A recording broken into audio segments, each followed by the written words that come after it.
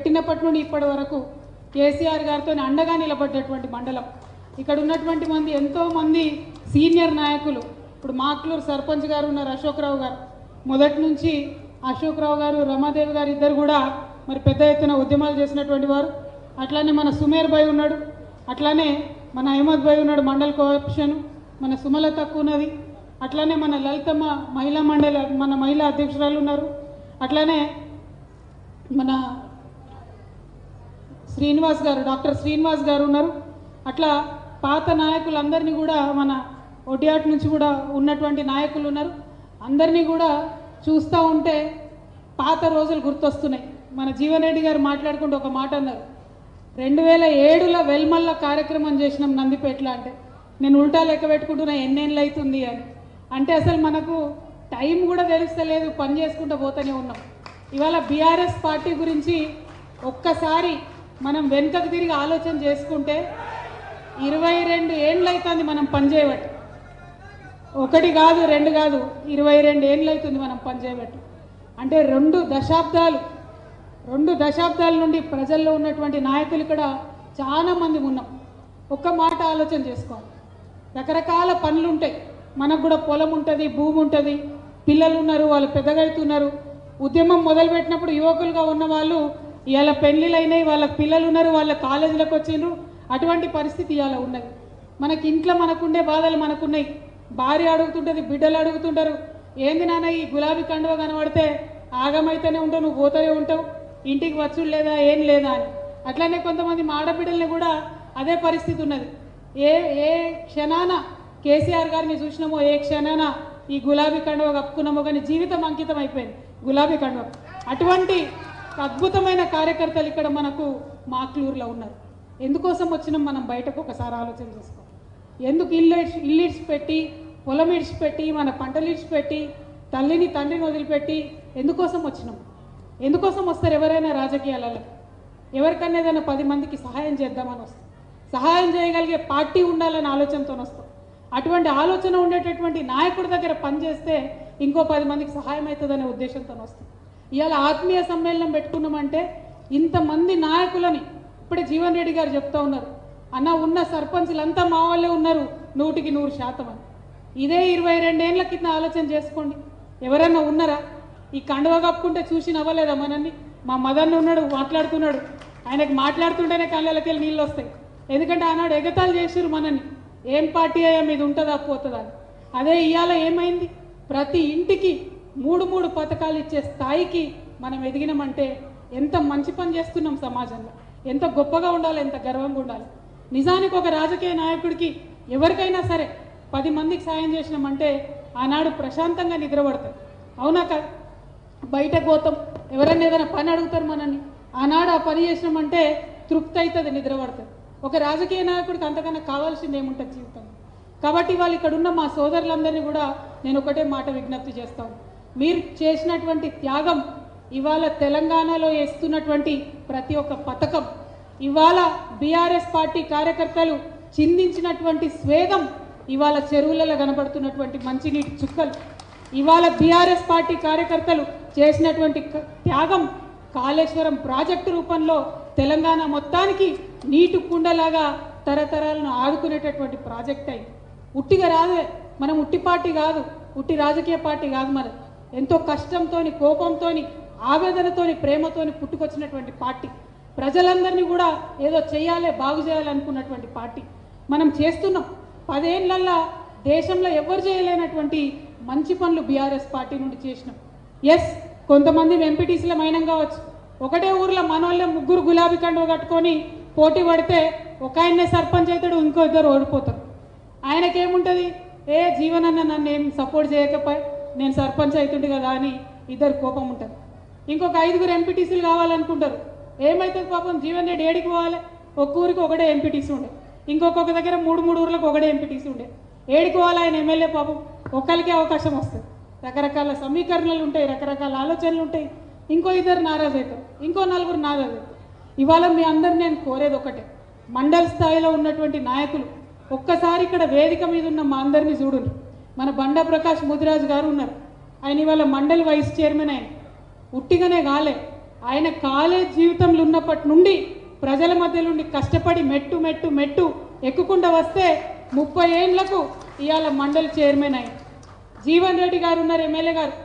ఆయన కేసీఆర్ గారు గులాబీ పార్టీ పుట్టినప్పటి నుంచి ఇప్పటి వరకు పార్టీలో ఉండి అడుగడుగునా కష్టపడ్డాడు కాబట్టి మెట్టు మెట్టు మెట్టు ఎక్కి వచ్చి ఇలా ఎమ్మెల్యే అయ్యిండు. నిజామాబాద్ జిల్లా పార్టీ అధ్యక్షుడు అయిండు పియూసీ చైర్మన్ అయిండు అన్నిటికన్నా ముఖ్యంగా కేసీఆర్గా ఆప్తుడై ఇవాళ మల్లారెడ్డి అన్న ఉన్నాడు. మల్లారెడ్డి అన్నది కూడా అంతే. నేనైనా అంతే ఇక్కడ మీకు మీ మాట్లూరు ముద్దుబిడ్డ జెడ్పీ చైర్మన్ గారు ఉన్నారు. ఆయన తిరగని ఊరు ఉన్నదా? ఎక్కని కొండలేదు మొక్కని బండలేదు అంటారు కదా. అట్లా తెలంగాణ ఉద్యమం మొత్తం ఆదిలాబాద్ నుండి మొదలు పెడితే ఖమ్మం దాకా ఎక్కడికేస్తే అక్కడికి పోయి పార్టీకి పనిచేసింది కాబట్టి ఓపిక ఉన్నాడు కాబట్టి ఇవాళ జెడ్పీ చైర్మన్ అయిన. అట్లా ప్రతి ఒక్కరికి ఎల్ఎంబి రాజేశ్వరన్న ఉన్నారు. ఆయన కూడా అంతే. ఓపికగా వెయిట్ చేసి చేసి ఇవాళ లైబ్రరీ చైర్మన్ అయింది మీ అందరితో నేను రిక్వెస్ట్ చేసేది ఒకటే. పార్టీ పెద్దగా అవుతుంది విస్తరిస్తుంది. దానిలో పెద్ద ఉద్దేశం ఏంటిది? మంచి ఉద్దేశం ఏంటిది? ప్రజలకు పెద్ద ప్రయోజనాలు చేరడం అన్నది మొదటి ఉద్దేశం. మనకు పదవి రావడం అన్నది రెండవ ఉద్దేశం. మనం కేసీఆర్ గారి లక్ష్యాన్ని తెలంగాణ ప్రజల మొత్తం ఆశయాలని చనిపోయినటువంటి అమరవీరుల యొక్క త్యాగాలను జయశంకర్ సార్ యొక్క స్ఫూర్తిని అన్నిటినీ తీసుకొని ముందుకోతున్నటువంటి పార్టీ. మరి ఇటువంటి పార్టీలో ఉన్నప్పుడు ప్రతి ఒక్కరికి అవకాశాలు తప్పకుండా వస్తాయి. ప్రతి ఒక్కరికి కూడా మంచి పదవులు వస్తాయి. ఆడపిల్లలు ఎప్పుడైనా మంచి కోరుకుంటారు. మనందరికి కూడా మంచి అవకాశాలు రావాలని మీ అందరికి కూడా మీ మీ స్థాయిని బట్టి గ్రామాలలో మండలాలలో రాష్ట్ర స్థాయిలో మంచి అవకాశాలు రావాలని చెప్పి మనస్ఫూర్తిగా నేను కోరుకుంటా ఉన్నాను.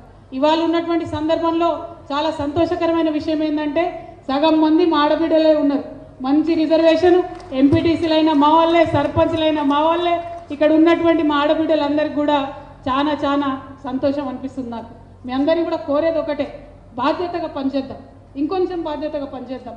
ఇంకొంచెం మంచి పనులు చేద్దాం.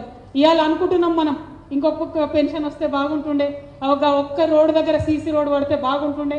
ఇట్లా ఉన్నాయి మనకు. మనకు వేరే ఆలోచనలు లేవు రాజకీయం ఆలోచనలు లేవు. మనకేంది? తెలంగాణ బాగుపడాలి మన ప్రజలు బాగుపడాలి. బాగు చేసే వాళ్ళం మనమే అయినప్పుడు పొద్దు నుండి సాయంత్రం వరకు మనమే కనబడుతున్నప్పుడు ఓటు కూడా ప్రజలు తప్పకుండా మనకే వేస్తారు రంది పెట్టుకునే అవకాశం అవసరం లేదు. జీవన్ రెడ్డి గారు పోయిన రెండు సార్లు ఎంత మెజారిటీ వచ్చిందో అంతకన్నా ఎక్కువ మెజార్టీతోనే ఇప్పుడు గెలుస్తారని చెప్పి నేను చాలా చాలా కాన్ఫిడెంట్గా చెప్తా ఉన్నా. ఇంకొక మాట కూడా ఈ సందర్భంగా నేను చెప్తా ఉన్నా. మనిషి మనిషి పట్టుదల ఉంటే తప్పకుండా ప్రజలు కూడా కలిసి వస్తారు. జీవన్ రెడ్డి గారికి ఆ పట్టుదల ఉన్నది ఆ నాక్ ఉన్నది. అవసరమైతే బుజ్జగిస్తాడు గడ్డం పట్టుకుంటాడు లేకపోతే బెదిరిస్తాడు అవసరమంటే కడుపులో తలకాయ పెడతాడు. లేదంటే అమ్మలైతే కాళ్ళు పట్టుకొని ఆశీర్వాదం తీసుకుంటాడు. ఏదో ఒకటి చేస్తాడు కానీ మెప్పించి ఒప్పించి మీ అందరితో మాత్రం తప్పకుండా ఓటేయించుకుంటాడు. కాబట్టి మీ అందరికీ నిజామాబాద్లో అది కూడా ఆర్మూర్లో.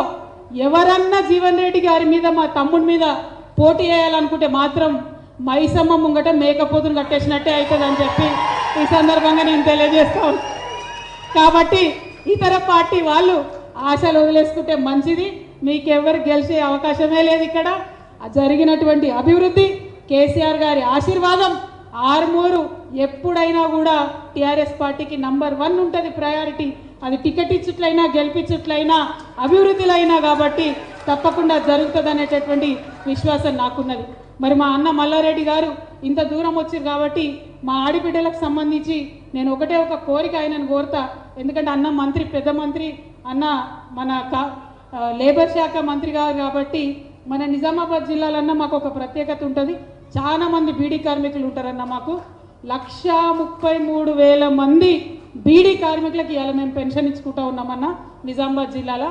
కాబట్టి ప్రత్యేకించి బీడీ కార్మికుల కోసం ఒక పిఎఫ్ ఈఎస్ఐ ఆసుపత్రిని కట్టించాలని చెప్పి మిమ్మల్ని నేను రిక్వెస్ట్ చేస్తూ ఉన్నాన్న మనము నిజామాబాద్లో ఈఎస్ఐ హాస్పిటల్ మా ఆడబిడ్డల కోసం కట్టుకుంటే కామారెడ్డిలో ఉన్న వాళ్ళు కూడా వచ్చి వాడుకునే అవకాశం ఉంటుందన్న. కాబట్టి బీడీ కార్మికుల కోసం ప్రత్యేకంగా ఒక ఈఎస్ఐ హాస్పిటల్ మంజూరు చేయవలసిందిగా మిమ్మల్ని మా ఆడబిడ్డలందరి తరఫున రిక్వెస్ట్ చేస్తూ ఉన్నాన్న ఇంకొక విషయం మా తమ్ముడు చెప్తా చెప్తా మధ్యలో ఆపేసిండ్రు. భవన కార్మిక భవన నిర్మాణ కార్మికులు నిజామాబాద్లో చాలా పెద్ద ఎత్తున ఉన్నారన్న. వాళ్ళకి ఇప్పుడు ఇక్కడ ఉన్న భవనం చిన్నగా ఉన్నది ఇన్సూరెన్స్ కూడా వాళ్ళకి పాతగా అయింది. కాబట్టి దయచేసి కొద్దిగా ఆలోచన చేసి మీరు మళ్ళీ వాళ్ళని పిలిపించుకొని మంచి స్కీమ్లో మా నిజామాబాద్ భవన నిర్మాణ కార్మిక సంఘం వాళ్ళను ఆదుకోవాల్సిందిగా కోరుతా ఉన్నాను. అదేవిధంగా ఇవాళ మాక్లూర్ ఆత్మీయ సమ్మేళనానికి వచ్చినటువంటి మీ అందరికీ ఇంకొక చివరి విజ్ఞప్తి విజ్ఞప్తి చేసి నేను సెలవు తీసుకుంటాను. మీ అందరికీ తెలుసు రెండు వేల ఒకటిలో మనం టీఆర్ఎస్ పార్టీ పెట్టుకున్నప్పుడు ఆనాడు మనకు పేపర్లన్నీ వ్యతిరేకం రాసుడే ఉండే టీవీలన్నీ కూడా వ్యతిరేకం చూసుడే ఉండే. కానీ రాను రాను రాను రాను మన పార్టీకంటూ ఒక ఛానల్ ఉండాలని మనం టీ న్యూస్ అనే ఛానల్ పెట్టుకున్నాం. నమస్తే తెలంగాణ అనే పేపర్ బాజాప్తా పార్టీ నుంచే మనం పెట్టుకున్నాం. మన పార్టీ ఛానల్ మన పార్టీ పేపర్ కాబట్టి ఖచ్చితంగా దాన్ని ప్రమోట్ చేసుకోవాల్సిన బాధ్యత కూడా మనకు ఉండాలి.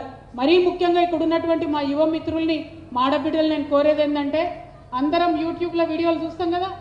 ఆ యూట్యూబ్లోకి పోవాలి టీ న్యూస్ ఛానళ్ళకి పోవాలి ఖచ్చితంగా సబ్స్క్రైబ్ చేయాలి. ఖచ్చితంగా సబ్స్క్రైబ్ చేయాలి. అట్లనే నమస్తే తెలంగాణ పేపర్ని కూడా అవకాశం ఉన్న కాడికి చదవాలి. దాంట్లో ఉన్నటువంటి అంశాలను బయట ప్రజలలో చర్చించాలని నేను కోరుతా ఉన్నా. ఎందుకు ఈ మాట చెప్తా ఉన్నా అంటే మట్టి పనికి పోయినా మనోడే పోవాలంటారు. మన ఛానల్ అయితే మన విషయాలు ఖచ్చితంగా ప్రజలకు చూపిస్తాయి. అది మనం ఉద్యమంలో చూసినాం ఇప్పుడు కూడా చూస్తున్నాం. ఇప్పుడు చాలా ఛానళ్ళు ఉన్నాయి. ఏ ఒక్కొక్క పార్టీకి ఒక్కొక్క ఛానల్ ఉన్నది. మరి మనం ఆ ఛానల్ చూసేందుకు బాధపడేందుకు బీజేపీ ఛానల్ మన గురించి చెప్తుందా? బీజేపీ ఛానల్ జీవన్ రెడ్డి గొప్పోడని చెప్తుందా? మల్లారెడ్డి అయినా గొప్పోడని చెప్తుందా? చెప్పరు కదా. వాళ్ళు ఎంతసేపు మన తప్పులు ఎన్నాలని చూస్తారు? కానీ మన ప్రజలకు మనం మంచి వార్తలు చెప్పాలంటే టీ న్యూస్ని దయచేసి సబ్స్క్రైబ్ చేయాలని చెప్పి మన కార్యకర్తలందరినీ కూడా రిక్వెస్ట్ చేస్తూ ఉన్నాను. మండల అధ్యక్షులు గారు సత్యనారాయణ గారు ప్రత్యేక శ్రద్ధ తీసుకొని గ్రామ శాఖ అధ్యక్షులతోని రైతు బంధు సమితి అధ్యక్షులతోని అందరితో చర్చించి ప్రతి ఒక్కరు సబ్స్క్రైబ్ అయ్యేటట్టు దయచేసి చూడవలసిందిగా రిక్వెస్ట్ చేస్తూ ఉన్నాను. అవన్నీ మీరు చెప్పాలన్న మంత్రివర్యులు. ఇచ్చే ముచ్చట్లన్నీ మీరే చెప్పాలి. నేను మా కార్యకర్తలను మాట్లాడడానికి ఓన్లీ వాళ్ళని కలవడానికి వచ్చిన. అన్నీ మీరు చెప్పండి పర్లేదు. అన్నీ మొత్తం రాష్ట్ర ప్రభుత్వం తరఫున ఏ టు జెడ్ మీరే చెప్పాలి ఇప్పుడు. సో వచ్చేటి ఇంకా రానున్న పథకాలన్నీ కూడా గౌరవ మల్లారెడ్డి గారిని చెప్పవలసిందిగా నేను కోరుతా ఉన్నా. ఎందుకంటే ఆడబిడ్డలుగా మనకు ఎంతసేపు ఊర్లలోకి పోయినప్పుడు ఇండ్ల ముచ్చట అడుగుతారు కాబట్టి మరి ఆ ఇండ్ల ముచ్చట ఏంది ఆ కథ ఏంది అన్నని చెప్పవలసిందిగా కోరుతూ మళ్ళొకసారి మీ అందరికీ ఆత్మీయంగా నమస్కారం చేస్తూ సెలవు తీసుకుంటున్నాను. థ్యాంక్ యూ జై తెలంగాణ. కేసీఆర్ గారి నాయకత్వం. జై బీఆర్ఎస్.